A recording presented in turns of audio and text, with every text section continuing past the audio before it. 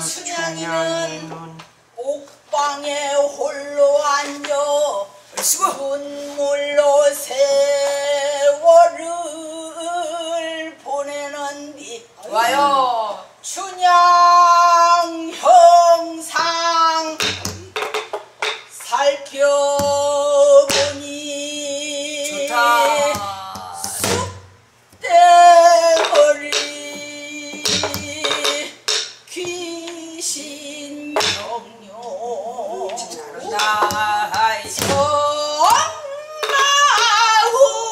Whoa.